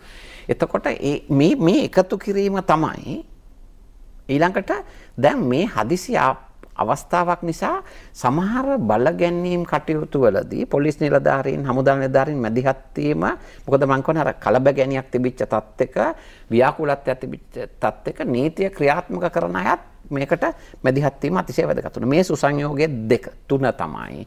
මේක කියන්න ඕන මේක මේ අනවශ්‍ය ලෙස කෙනෙක් ඔය ප්‍රශංසා කරන ගරු ජනාධිපතිතුමාගේ නායකත්වය. මං පැකිලෙන්නේ නැහැ පොඩ්ඩක්වත්. ඒක ගැන මොකද සුදුස්සට සුදුසු ගෞරවය ලබා දෙන්නේ නැත්නම් අපි මහා කුහක මිනිසු ටිකක් වෙනවා. ඒකෙදි එතුමාට තිබිච්ච ප්‍රධානම නිපුණතාවය තමයි යුද්ධයකට ආරක්ෂක ලේකම් වශයෙන් මැදිහත් වෙලා හිටපු දෙක. දෙක එතුමා ලෝකේ දැකපු පුද්ගලයෙක්. එතුමාට දේවල් තාක්ෂණය. ඉතින් එතුමා නිවැරදි නායකත්වයක් දුන්නා තීන්දුව తీරන අරන් මං කියවනේ නැවක් ගිලෙනකොට සාකච්ඡා කර කර ඉන්න බෑ. කාර්ය සාධක බලකායක් හදුවා. දැන් ඔබතුමා දන්න අපේ පළවෙනි රෝගියා අපිට හම්බුනේ ජනවාරි 28 චීන කාන්තාව. 27 වෙනිදා වෙනකොට මේ පූර්ව සූදානමේ කමිටුවක් හදලා ඉවරයි මේ මේකට කටයුතු කරන කාර්යසාධක බලකායක්. දැන් සමහරු කියනවා මේ මේ ගුවන් තොටුපොළ වල මාර්තු 18 කියලා. දැන් මමත් ඒ අතරතුරේ ආවා ගියා. 18 වෙනකොට වහපු නැති අදත් වහපු නැති ගුවන් තොටුපොළ වල තියෙනවා. එතට බැහුවා ඔවු ඒ කාලය ඇතුළත යම් කිසි දෙනෙක් එළියට ගිහින් පොඩි ගැටලුවක් ඇති වුණා. ඒක අපි ඉගෙන ගන්න ඕන පාඩමක්. හැබැයි එතැන් සිට නිරෝධාන කටයුතු කරලා රෝග කියන්නේ නිරෝධානය තමයි ඒක. මමත් නිරෝධානය වෙච්ච කෙනෙක් 3504න් එක්කෙනෙක්. නිරෝධානය කරා ඊට පස්සේ ඒ අයගෙන් අපේ 3500න් 41 දෙනයි රෝගීන් බවට පත් උනේ. ඒ කාලේ මේ පරීක්ෂණ කරන හැකියාව රටේ තිබුණේ නැහැ. මොකද ගෝලීය සැපීමේ ගැටලුවක් තිබුණා. නමුත් ඒක අපිට අභාවාචක විදිහට බලපෑවෙත් නැහැ. 42 දෙන රෝග ලක්ෂණ ආවා. ඒ පරීක්ෂණ කරා රෝහල් ගත කරා. හැබැයි ඊට පස්සේ වෙච්ච දේ තමයි මේ කට්ටියගේ පළවෙනි සහ දෙවෙනි සම්බන්ධතාවයන් තියන අය හඹාගෙන ගියා. මම කියන්නේ නිවැරදි උපාය මාර්ගයක ප්‍රවේශයත් එක්ක කොරියාවට වගේ අපිට ටෙස්ට් ටෙස්ට් ටෙස්ට් කරන්න පුළුවන් කමක් තිබුණා අපේ ෆැක්ටරි තිබුණේ නැහැ. හැබැයි දැන් වෙනකොට අර කටයුත්ත කරලා මේක සමාජයේ පැතිරිලා නැහැ. ඒතකොට දැන් මම මේ කියන් කියන් කියන් ආවේ මෙන්න මේ තුන මේ තුන තමයි මේ ත්‍රිත්වය තමයි මේක උනේ. දැන් එතෙන්දී ඒ විතරක් නෙමෙයිනේ. සුදුස්සට සුදුසු තැන් දුන්න. දැන් මම ඊයේ පෙර දහන් හිටියා තව වැඩසටහනක හිටපු හමදාපතිතුමා තමයි වරාය දැන් බලධාරියා. ඒ වරාය කළමනාකරණය කරපු හැටි. කිසි අඩුපාඩුවක් නොවෙන්න. එතකොට ඊයේ පෙරේද දැන් අපේ සෞඛ්‍ය ලේකම්තුමා බවට පත් උනේ හමුදා නිලධාරී කෙනෙකුට ඒවට විවේචන තියන්න පුළුවන්. හැබැයි එතුමා වෛද්‍ය විශේෂඥයෙක් මට වඩා කනිෂ්ඨ වෛද්‍යවරයෙක් මම පෞද්ගලිකව දන්න කෙනෙක්. යුද්ධය තුළ කටයුතු කරපු මහත්දකින් ප්‍රමාණය. එතකොට මේ මේ සුදුසු පුද්ගලයන් කිසි බයක් සැකක් නැතුව ඒ නායකත්වයන්ට ගෙනල්ලා මේ කළමනාකරණය කරලා කාර්ය සාධකනික මේ මේකේ වැදගත් දේ තමයි මේ මේ අර්බුදයේදී දේශපාලන අධිකාරිය කටයුතු කරේ සෞඛ්‍ය ප්‍රශ්නය ගැන බලලා විතරක් නෙමෙයි. ආර්ථිකය ගැන බැලුවා, ජන ජීවිතය ගැන බැලුවා. ඒවට අවශ්‍ය කරන කටයුතු කරා. දැන් මෙතෙන්දී අපි විශේෂයෙන් මතක් කරන්න ඕන දෙයක් තියෙනවා. අර නියෝජ්‍ය පොලිස් අධිකාරී මේ පොලිස්පතිතුමා නියෝජ්‍ය පොලිස්පතිතුමා රජිත රෝහණතුමා මම හරිම කැමති චරිතයක් මොකද එතුමාගේ කැපකිරීමත් එක්ක කියන දේවල්. එතුමා හරි සංවේගශීලීව කිව්වා මේ අවස්ථාව අර යුද්ධ කාලෙදී වගේ මේ රටේ ජනතාව කණ්ඩායම් දෙකකට බෙදලා තියෙනවා. දේශ ප්‍රේමීන් සහ දේශද්‍රෝහීන්. ඒ දේශ ප්‍රේමීන්ට ප්‍රමිතියේ වෙනස්කම් තියෙන්න බෑ. මේ රටට ආදරය කරන හැම කෙනාම එක තැනක ඉන්න ඕන. මොකද්ද? මේක අපේ රට, මේක අපේ රට. අපිට මට මතක් වෙන එතකොට අර නන්දි කඩාල් ඔබතුමාට මතක ඇති අවසාන සටනේ. සිංහල ජනතාවට, දෙමළ ජනතාවට, මුස්ලිම් ජනතාවට විමුක්තිය ළඟා කර දීම සඳහා සිංහල මිනිසුන්ට විතරක් නෙමෙයි. අවසාන සටනේ හෙට මේ ලංකාවේ සිංහ කොඩිය ලැල දෙනවා කියලා දැක දැක ජීවිත දීපු සිය ගණනක් හිටියා අන්තිම සටන ඉවර කරන්න. ඒගොල්ලෝ දන්නවා ඒක සතුට භුක්ති විඳ කරවටක් මඩේ läගලා ඉඳලා එහෙම කරපු කැපකිරීම කරපු જાතියක එතකොට ඒ ඒ ප්‍රතිලාභ තමයි අපි මේ මං අපි මේ විඳින්නේ. දැන් මං ඇහුවා පහුගිය කාලේ දේශපාලඥයෙක් කියනවා මෙහෙම අත හොදන්න ගියොත් අල්ලේ රේඛා නැකෙයිලු. තව කෙනෙක් කියනවා මේක මෙහෙම උනේ මේ සමකය නිසාලු. සමකය ළඟ පිහිටි රටක්. මං අහන්නේ ඇයි අපි මේ කුහක වෙන්නේ? ඇයි අපි මේ වගේ කුහකකම්? මම කියන අපිට පුළුවන්කම තියෙන්න ඕන මේ අභිමානයෙන්නේ ගරු ජනාධිපතිතුමාටවත් අගමැතිතුමාට විතරක් නෙමෙයි ලාංකීය ජාතියක් විදියට. මම එංගලන්තයට ගියාම මම රස්සාව කරන්න නෙමෙයි. මට ටෙලිෆෝන් එකේ ඊයේ කතා කරලා මගේ විශේෂඥයෙක් කියනවා උඹලට වඳින්න ඕන ජාතියක් නේ. අපිට දැන් ඇවිල්ලා උගන්නපල්ලා කියලා. හරි? දැන් මගේ ගාව පහුගිය කාලේ හිටියා. උන්ට ඇවිල්ලා ප්‍රජා සෞඛ්‍ය විශේෂඥවරු තුන් දෙනෙක් එංගලන්තේ මයිත් එක්ක වැඩ කරා. පහුගියදා අපි ප්‍රෝග්‍රෑම් එකක් කරා එකටත් ආවා ඒ තුන් දෙනාව එහෙන් ඉගෙන ගන්නනේ නමුත් එහෙ මහාචාර්යවරු මේ මේ කොරෝනාවට ඉස්සෙල්ලා ඒ අයට දුන්නා වෛද්‍ය ශිෂ්‍යයන්ට උගන්වන්න. මේ ලංකාවේ තියෙන ක්‍රමය හොඳයි කියලා. දැන් මම පෙරේදා කතා කරනකොට මගේ මහාචාර්යවරු කියනවා දැන් මේක ලියපන් සංග්‍රහවල් වලට. හරි. ඔගොල්ලන්ගේ ඉහළ නිලධාරීන්ට වෙලා නැත්තම් ඔයා ලියන්න. ඒගොල්ලෝ නමින් මේක ලෝකෙත් එක්ක බෙදන්න. එහෙම එහෙම මේක හරහා ලොකු ඉතින් එතකොට අන්නේ අභිමානය අපි කාටත් ගන්න පුළුවන් වෙන්න ඕන. අපි වෙනුවෙන් මේ කරිච්ච කටයුත්තත් ඒක නිසා ඒ වගේම ප්‍රධාන දේ ප්‍රධාන දැන් බලන්න අපේ මරණ ලක්ෂ 20ට එකයි. ලක්ෂ 20ට එකයි. එතකොට ඇයි අපි මේ භූම දාන ගැන කතා කරන්නේ? ආදාහනේද භූම දාන ඒ කියන්නේ දැන් එහෙම කතා කරන උදවියගේ තර්කය මොකද? තව මැරෙයි කියලා බලාපොරොත්තු වෙන්න. මම වගකීමකින් කියනවා ජනතාව තමන්ගේ යුතුයකම ඉෂ්ට කරොත් තව එක මරණයකින් කටවත් ඉඩ නොතිය අපිට කටයුතු කරන්න පුළුවන්කම තියෙනවා. ඒක නිසා කේන්ද්‍රීය දේ කේන්ද්‍රීයයි. දැන් කතා කරන්න ඕන භූම දානය ආදාහනය ගැන නෙමෙයි. දැන් කතා කරන්න ඕන මොකද්ද මේ ලැබපු ජයග්‍රහණ. තහවුරු කරන්නේ කොහොමද? ඒකට දේශපාලන පක්ෂ කුල මල ආගම් ભેද වලින් තොරව අපි අවතීර්ණ වෙන්න ඕන කොහොමද? මේ ජයග්‍රහණ ඉස්සරහට ගෙනහිල්ලා ජන ජීවිතය සාපේක්ෂ ලෙස වේගවත්ව ආපහු පරණ තැනට ගේන්නේ කොහොමද? අන්න එතෙන්ට අපි කතා කරන්න ඕන. එහෙම නැත්නම් නොකරිච්ච දෙයට ආඩපලි කියලා නොලැබිච්ච දෙයට හඬා වැළපිලා දොස් නගලා ඇඟිලි දික් කරලා නෙමෙයි. ඒක අතිශය අජිත් රෝහණ මැතිතුමා කියන වගේ ಜಾති ද්‍රෝහී ක්‍රියාවක්. එතකොට තමන් තමන්ගෙන් ප්‍රශ්න කරන්න ඕන මම මේ වෙලාවේ පෙනී හිටින්නේ මේ රටට අතිශය ආදරය කරන දේශ ප්‍රේමියෙක් විදිහටද එහෙම නැත්නම් මං හීනෙන් හරි ද්‍රෝහියෙක් බවට පත් වෙනවද? ඒ දෙක බෙදන්න ඕන කියන තමයි මම යෝජනා කරන්නේ. දැන් සමහරට මේ ඔයගෙන හිතද්දි සමහරට පොඩක් හාස්‍යජනකයි මොකද මම එහෙම කියන්නේ දැන් මේ මනුෂ්‍යයා දේශපාලන ජීවියෙක් කියන නිසාම මොන දෙයක් තුලත් දේශපාලනයක් තියෙනවා. දැන් ලෝකෙ මම හිතන්නේ හැම රටකම වගේ එහෙමයි. මේ තත්ත්වය තවත් බොහොම කැපිලා පේනවා. ඡන්දයක් ළඟ තියෙන රටවල් දැන් ඇමරිකාව ගත්තොත් එහෙම ඇමරිකාවේ රජයට දැන් වෙලා තියෙන්නේ මේ කොරෝනා පරද්දන ජයග්‍රහණයට විරදන්නවට වඩා අනිත් පාර්ශවයන් උත්සාහ කරනවා ආ දැන් ජනාධිපතිවරණයෙන් ඩොනල්ඩ් ට්‍රම්ප් පරද්දන්න මේක පාවිච්චි කරන්න කොහොමද කියන එක. ඉතින් ඒ වගේම අවාසනාවට ලංකාවෙත් ළඟ ඡන්දයක් තියෙනවා. ඉතින් ඒ නිසා මේකේ දේශපාලන මුහුණර තව වැඩි වෙලා තියෙනවා. ඉතින් මේ වගේ අවස්ථාවක ඔබතුමා වෛද්‍යවරයෙක් මානසික විද්‍යාව දන්න කෙනෙක් මේවා ගලාවක ඒ දෙ ගැන අපි කොහොමද කියන්නේ? මට පරණ දේශපාලන ඉතිහාසයකුත් තියෙනවනේ වදකාගාරයකත් දුක් විඳපු මිනිහෙක් විදිහට. ඒක නිසා මට ඒක සම්පූර්ණ අමතක කරලා කතා කරන්න බෑ. හැබැයි මම ශ්‍රී ලාංකිකයෙක් විදිහට තමයි මේක දකින්නේ. ඔබතුමා කිව්ව දෙයට පොඩි නිවැරදි කිරීමක් කරන්න ඕන. මොකද්ද? හැම රටකම දේශපාලඥයෝ හෙම නැහැ. දැන් එංගලන්තේ මේ ප්‍රශ්නේදී වෛද්‍ය විද්‍යාත්මකව අපිට වැඩිය පෙරදුනාට එංගලන්තේ දේශපාලකයෝ කුහක නැහැ. එක තැනක ඉන්නේ. ඕස්ට්‍රේලියාවේ එහෙමයි. නවසීලන්තේ එහෙමයි. ඒගොල්ලෝ තර්ක කරන්නේ නැහැ. අල්ලේ රේඛාවල්ම කෙන හැටි කතා කරන්නේ නැහැ. ඒක නිසා මම කියන්නේ ඒක වැරදි. දේශපාලන සටනකට ගිහිල්ලා කුලල් කා ගන්න හරි රටක් ඉතුරු වෙන්න ඕන, මිනිස්සු ඉතුරු වෙන්න ඕන. ඒක නිසා මම කොන්දේසි විරහිතව කියන්නේ රටේ මිනිසුන්ට දේශපාලඥයෝ බෙදිච්ච දේ. මේ රටට ආදරය කරන්නේ නැති ඒ අයට ඉරණමක් නැහැ. මේ රටේ ජනතාව මුලේ නැති මිනිස්සු කියලා මම නම් කවදාකවත් පිළිගන්නේ නැහැ. සාක්ෂරතාව ඉහළයි. හැබැයි සෞඛ්‍ය සාක්ෂරතාවයේ අඩුවක් තියෙනවා පිළිගන්නවා. හැබැයි අපේ රටේ ජනතාවට දෙයක් තේරුම් කරලා කියන්න පුළුවන්. මම ඒකනේ මේ සබන් ගාන එක අත හොදන එක බල ගැනීම ගැන කතා කරන්නේ. ඒ ජනතාව පිළිබඳ විශ්වාසකින්. එතකොට ඔබතුමා කිව්වා වගේ දැන් ඔබතුමා ඡන්දයක් ගැන කිව්වනේ. ඕස්ට්‍රේලියාවේ මාර්තු 10ට ප්‍රාන්ත ඡන්දයක් තිබ්බා අපිට කවුරුත් දන්නෙත් නැහැ. කොරියාවේ තිබ්බා. ඒතකොට ඡන්ද ගැන කතා කරත් මම කතා කරන්න යන්නේ නැහැ. උසාවියේ නඩුවක් තියෙන නිසා සහ ඒක ඒකේ අවසාන තීන්දුව තියෙන එතනට සහ මැතිවරණ කොමසාරිස්තුමාට කියලා. හැබැයි මම මේ රටේ පුරවැසියෙක් විදිහට ප්‍රජාතන්ත්‍රවාදී අයිතිය තියෙන්න ඕන කියන තැන. ඡන්දය අනන්තයට කල් දාන්න බෑ.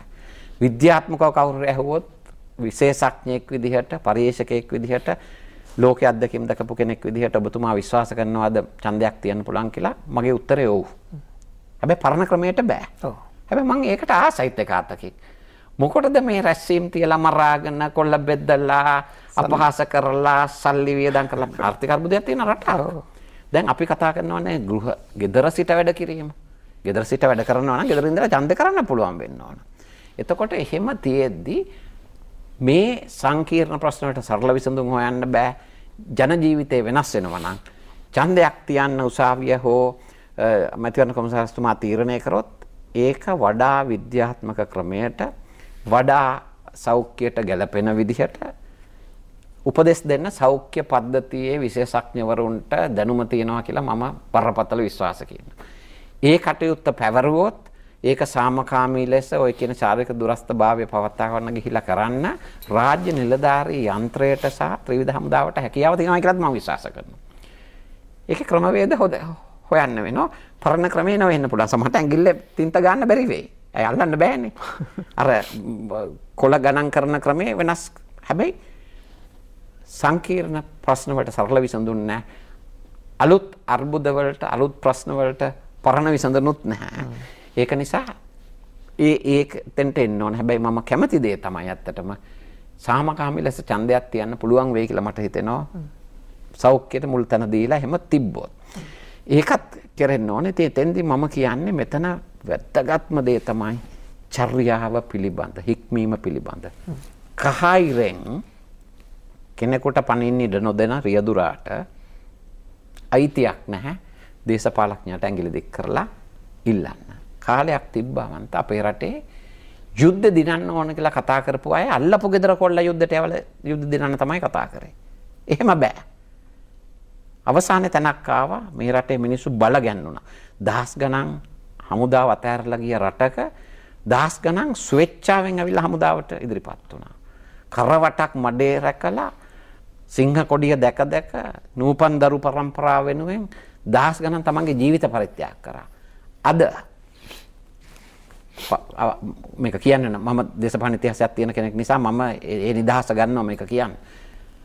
ඒ රණවිරුවට අයිති තැන අහිම කරපු වකවානුවක් තිබුණා.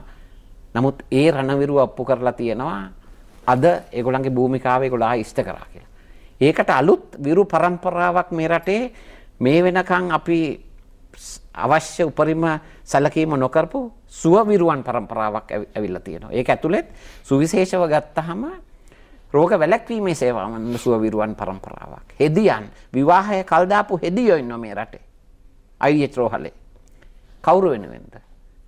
මේ රටේ දරු පරම්පරාව වෙනුවෙන්. එතකොට ඒ තරම් කැප කරපු සමාජ ස්තරයන් ඉන්න රටක අපිට දැවැන්ත භූමිකාවක් තියෙන මේ රටේ ජනතාවට මම අඬලා වැඳලා ඉල්ලනවා. මොකද මට ඒ වේදනාව තියෙන කෙනෙක් මම මේ. මං අහම්බෙන් ජීවිතය ඉතුරු වෙච්ච මිනිස්සෙක් මේ. ඒක නිසා මේ වෙනස සුනාමියෙන් අපි අතහැරපු භූමිකාව. තිස් වසරක යුද්ධය අවසන් කරාට පස්සේ ජාතියක් වසයෙන් පේදුරු තුඩුවේ ඉඳලා දෙවුන්දර තුඩුවට මේ රට එක්සේසත් කරලා සමගි කරලා ජාති කුල මල ආගම් ભેද වලින් තොරව ජාතියක් විදියට නැගිටින්න තිබිච්ච අවස්ථාව අතහැරපු අතහැරුණු ජාතියක් විදියට මේ වෙලාවේ එතන මම දකින ලොකුම වෙනස තමයි මම මේක කියන්න පැකිලෙන්නෙත් නෑ. අපිට නායකයෙක් ඉන්නවා. ඊළඟ ඡන්ද ගැන හිතන්නේ නැතුව ජාතිය වෙනුවෙන් වැඩ කරන. අන්න ඒ අවස්ථාව අපි අරන් නව දැනුම හඹාගෙන එන නව නිපැයම් කරුව බිහිවෙමින් පවතිනවා. අධ්‍යාපන ක්‍රමයේ වෙනසක් ඉල්ලන දෙමව්පියෝ දරුවෝ දේශපාලඥයෝ විද්වතුන් හිස ඔසවමින් පවතිනවා. මේක හොඳ හොඳ අවස්ථාවක් අපිට ලැබිලා තියෙනවා අලුතෙන් හිතන්න. වෙනස්ව හිතන්න. වැඩියෙන් හිතන්න නෙමෙයි. අන්න ඒක ගන්න එක අතට ගන්න එක තමයි අපේ භූමිකාව. ඒක නිසා මේ සංකීර්ණ පසුබිමක් තිබිච්ච මිනිසෙක් වශයෙන් මම මගේ භූමිකාව තමයි මේ ඉෂ්ට කරන්නේ නැත්නම් කාටවත් කඩේ යනවා එහෙම නෙමෙයි. පහුගිය දවස්වල මේ සමාජ මාධ්‍ය ජාලාවල දානකොට සමහරු නින්දා පහසත් කරන. සමාජ ජාලා කියන්නේ අර මිනිස්සු බල ගන්න පුළුවන් තැනක්. ඒක නිසා ඒ සමාජ ජාලාවන් පාවිච්චි කරන අයගෙනුත් මං ආදරයෙන් ඉල්ලනවා සංයමයෙන් යුක්තිගරුකව නීතිගරුකව විනයගරුකව මේ යන ප්‍රවාහයට උදව් කරන්න. දැන් ඕනම දෙයක් තියෙනවා මන්ත හොඳට ගන්න පුළුවන් නරකට ගන්න පුළුවන්. ඕනම දෙයක් ඩයිනමයිට් හදනකොට නොබල් ඒක හැදුවේ ලෝක විනාශ කරන්න නෙමෙයි. නමුත් ඒක ලෝක විනාශයට පාවිච්චි කරලා තියෙනවා. ඒක නිසා මම කියන්නේ අපි හරි මේ වෙලේ ඇත්තෙන්ම අපිට තියෙන පළවෙනි යුතුකම තමයි ශ්‍රී ලාංකිකයෙක් විදිහට හිතන්න. ඉගෙනගත්ත විද්වතාට තියෙන ලොකුම යුතුකම තමයි මේ නිදහස් අධ්‍යාපනය. මොන්නත් තරම් අඩුපාඩුකම් තිබුණත්. ඒක තියෙන දැවැන්ත ශක්තියින් මත ලෝකෙ දැකපු අපිට තියෙන යුතුකම තමයි ඒ ලැබපු දේ උපරිමය අපහසට දෙන්න. ඉතින් මේක අවස්ථාවක් කරගන්න කියන එක තමයි අපිට කියන්න තියෙන්නේ. දැන් තවත් එක දෙයක් මේකත් එක්ක ඉස්මතු වුණා. ඒ තමයි ලංකාවේ අපි වළක්වන්න ඕනේ මේක මුලින් උපුටා දාන්න ඕනේ කියලා හැමදාම කතා කරන විවිධ උත්සාහයන් ගන්න. එහෙත් සමාජයේ යටින් බොහොම දැලක් විදියට ගලාගෙන ගිය දෙයක් තමයි මද්‍රව්‍ය යොදුර කියන එක. මේක දැඩි ලෙස ඉස්මතු වුණා මේ පහුගියදා ඇතිවෙච්ච තත්ත්වයක් එක්ක. එනිසා මම හිතන්නේ මේ ගැන දැඩි අවධානය යොමු කරන්න ඕන. මොකද කොරෝනා එකක් ඇත්ත. නමුත් ඒකට යටින් දිවෙන තවත් ඊට වඩා ඒ වගේම භයානක දෙයක් තමයි මේ මද්‍රව්‍ය කියන එක. මේ දෙකම එකපාර අපිට අවධානය යොමු කරන්න පුළුවන් අවස්ථාවක් නෙමෙයි. මේ රටට විනාශය ගේන විනාශ කරන්න ඉලක්ක කරන ජාත්‍යන්තර බලවේග ඇහැට පේන විදිහට ක්‍රියාත්මක වෙන ඒවා තියෙනවා ඍජු. ඒව අපි දන්නවා. ආක්‍රමණයකට ආවොත් ඒක අපි දන්නවා අපේ හතුරා කියලා. හැබැයි එහෙම නොවන ජාත්‍යන්තර බූවල්ලෝ ඉන්නවා. මත්ද්‍රව්‍ය දැන් අපි දැක්කනේ පහුගිය කාලේ අදාහ ගන්න බෑ මිලියන් කෝටි ගණන් වලින් බඩු වෙන්නේ. මේවා හම්බ නෙමෙයි මට මතකයි මම තරුණ වෛද්‍යවරයෙක් විදිහට 1980 පෞද්ගලික රෝහලක වැඩ කරන කාලෙදී මද්‍රව්‍ය වලට අපි ඒ ගොල්ලන් වෙන වෙනස් කරන ප්‍රතිකාර කරන රෝගීන් දෙන්න තුන් දෙනෙක් ඉන්නකොට මට එක රෝගියෙක් කිනා මද්‍රව්‍ය විකුණන අය රෝගීන් විදිහට ලෙඩ්ඩු නැතුල් කරලා අර එක වළක්වන්න මද්‍රව්‍ය දෙනවලු. හරි. මේ 80 ගණන් වල. මේක සංවිධානාත්මක ජාලයක් මද්‍රව්‍ය හරහා ජාතියක් විනාශ කරන්න තරුණ පරාවක් පරාවක් විනාශ කරන්න සුදුවැල්ලේ අපි දැක්කේ ඒකයි. ඒක නිසා මද්‍රව්‍ය පිළිබඳව මැදිහත් වීම ඉතාමත්ම වැදගත්. එතෙන්දි තව දෙයක් කියන්න ඕන. දැන් මේ පහුගිය කාලේ මද්‍රව්‍ය ගේන එක නවත්තලා වටකඩලු බැඳපු නිසා මේ ශාරීරිකව යැපෙන తත්වය පහ වෙලා තියෙන්නේ. දැන් තියෙන්නේ මානසිකව යැපීමක්. ඒක නිසා විශේෂ පුනරුත්ථාපන වැඩ මහා පරිමාණය කරන්න අවශ්‍ය වෙන්නේ නැහැ. ඒතකොට මද්‍රව්‍යත් එක්කම අනිත් තියෙන ඔය දැල ඇතුලේ මත්පැන් සහ නොයෙක් කුමන්ත්‍රණකාරී කටයුතු ක්‍රියාත්මක වෙනවා. ඒක නිසා ගමේ ගමේ තමන්ගේ ගමේ. ජනතාවට නැවත වතාවක් වගකීමක් තියෙනවා. අර මද්‍රව්‍ය පිළිබඳ කටයුතු සිද්ධ වෙනවා නම් තමන්ගේ ගම්වල එහෙම ඉන්නවා නම් එකක් වැඩි හිටියන් මැදිහත්ලා අවවාද අනුශාසනා කළා. බැරි නම් ඒ අය නීතිය රැහැනට අසු කරලා දෙන්නම වෙනවා. මොකද ඒක පිළිලයක්. ඔතන දැන් තව දෙයක් තියෙනවා. අපි අපි මේ කිලෝ දස් ගණනින් අපි සමාරලට පෞග දසල දැක්ක මද්‍රව්‍ය රට ඇවිල්ලන්න ඒ වගේම අපි නිතර අහුවන්න දකින තියන් තමයි මද්‍රව්‍ය භාවිත කරනය හැබැයි ඔබතුමක්ව මේ ජාත්‍යන්තරය බූවල්ලෙක් විදිට මේක රටක් විනාශ කිරීම සඳහා රට ඇතුළට එවන් උත්සා කරන දෙයක් නෙමේ කියලා. හැබැයිතකට මේ අතර මැද ඉන්න කෙනා වගේ රහිත පුද්ජලෙක් බවට පත්වෙලා තිනක එවන කෙනට අපි චෝදන කරන ජාතයන්ත්‍ර බෝල කියලා. පාවිච්චි කන කරට අපි චෝදන කරන හැබැ මේක ගෙන්න්න මැදඉඳකට බෙදාහරන කෙන හැමවලේම කොහෙගනම ගරලනවා මේක මයිත මේ කොරන කතාව කතාවට දාලා නමුත් මේ වෙලාවේදී ඔබතුමා විද්වතෙක් විදිහට කොරෝනා කතාවට ඒක අදාළයි. ඒක තවත් අපි පරාජය කර යුතු දෙවන්ත සතුරෙක්. කොන්දේසි විරහිතව අනුකම්පාහිතව මම විශ්වාස කරනවා ඉල්ලීමකුත් කරනවා මම දන්නවා සිදුවෙමින් පවතිනවා කියලා ගරු ජනාධිපතිතුමා අගමැතිතුමා සහ ත්‍රිවිධ හමුදාවල් වලින් අනුකම්පා විරහිතව මේ පරාජය කිරීමත් කොරෝනා පරාජය කිරීමට අනුබද්ධ දෙයක් මිසක් වෙනස් දෙයක් නෙමෙයි කියලා මොන මට්ටමෙන් මොන සමාජ තරාතිරමකින් මොන දේශපාලන බලපෑම් තියෙන කෙනෙක් වුණත් කමන්නේ ඒ සියලු දෙනාම පරාජය කිරීමටත් මේක අවස්ථාවක් කරගන්න ඕන කියලා මම දැඩි ලෙස විශ්වාස කරනවා. ඒ වෙනුවෙන් මම පෙනී හිටිනවා.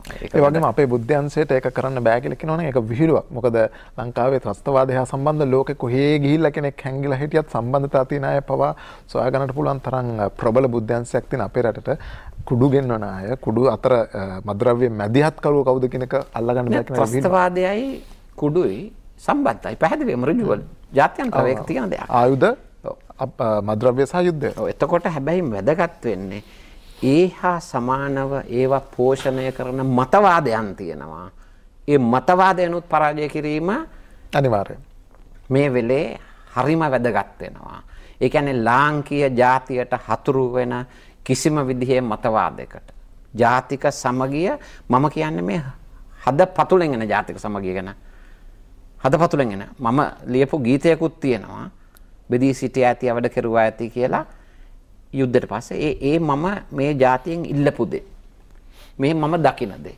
ඒක නිසා මම මේ අවස්ථාව අවස්ථාවක් කරගන්නවා. මේ පණිවිඩය දෙන්න.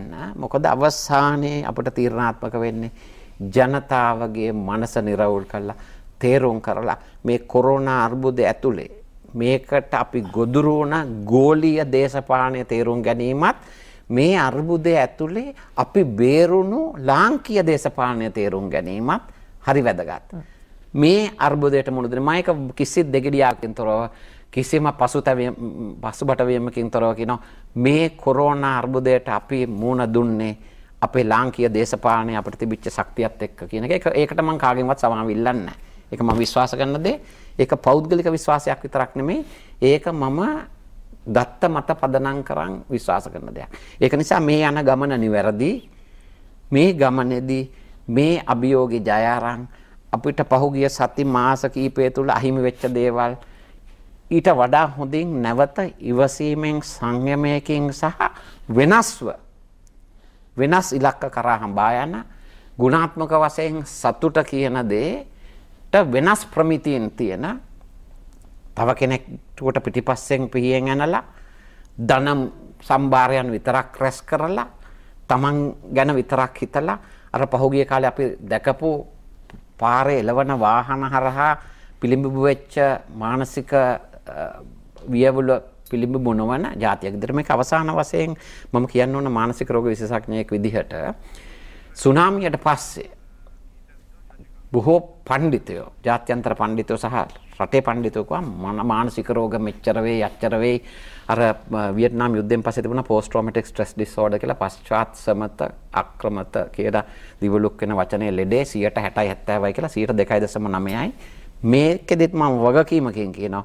මානසික රෝග විෂාදිය සිවිදි යනසා ගැනීම වැඩි වෙන්නේ අපේ රටේ. හැබැයි මානසික කැළඹීම් තියෙයි බය සැක ਸੰతాපය අවිනිශ්චිතභාවය දුර්මුඛ වීම. ඒක රෝගයක් කියලා ලේබල් ගහන්න ඕන නෑ.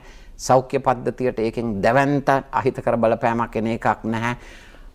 උපදේශන උපදේශනය කියලා හැම හන්දියක් ගලක් ගානේ කරන්න ඕන කියලා ඒ කාලේ කිව්වා මම ඒකට විරුද්ධව පෙනී සිටියා. ඒක හරි බෞද්ධ සංස්කෘතියෙන් පෝෂණය වෙච්ච අනිත් ආගම් වලින් පෝෂණය වෙච්ච පල්ලිය කෝවිල පන්සලේ ඒ ඒ හරහා සංමය හිත නිවාගත්ත ජාතියක් ජීවත් වෙන රටක ඒ කටයුත්ත ඒ මානසික පීඩනය අවම වෙයි. හැබැයි සමහර උදවියට මැදිහත් කරන්න වෙයි. ඒක කරන්නත් අපේ සෞඛ්‍ය පද්ධතිය ඇතුලේ මහා දැවැන්ත ජාලයක් තියෙනවා. මනස පිළිබඳ විශේෂයෙන් පුහුණු වෙච්ච විශේෂඥ වෛද්‍යවරු එදාට සාපේක්ෂව සිය ගණන් ඉන්නවා දැලක් තියෙනවා. ඒක නිසා මේ සමස්තය අරගෙන අපිට ඒ ගමන යන්න පුළුවන් වෙයි කියලා විශ්වාසයක් හොඳයි. අපි කතාබහ අපි පටන් ගත්තේ අර්බුදයකින්. අර්බුදය තත්ත්වය විග්‍රහ කරුවා. ඊට පස්සේ අපි ඒක ජයග්‍රහණය කරන්න අපිට තිබෙන හැකියාව ශක්තිය ගැන විග්‍රහ කරුවා. ඊට පස්සේ අපි ඉදිරියේදී කරන්න ඕන දේවල් පිළිබඳව කතා කළා. මේ ගැන කතා කරන්න අපිත් එක්ක එකතු වීම පිළිබඳව ඔබතුමාට බෙහෙවින්ම සුත්‍යන්ත වෙනවා. අද අපි කතා කළේ ජාතික මූලික අධ්‍යයන ආයතනයේ සභාපතිවරයා. ඒ වගේම සෞඛ්‍ය හා සමාජීය පර්යේෂණ හා සංවර්ධන ආයතනයේ ගරු අධ්‍යක්ෂකවරයා සහ එංගලන්තයේ කීල් විශ්වවිද්‍යාලයේ මානසික වෛද්‍ය චිකිත්සා පිළිබඳ මහාචාර්ය අතුල සුමතිපාල මහතා සමග. බොහොම ස්තුතියි. අපි අපව දවසකම අයිබෝන්.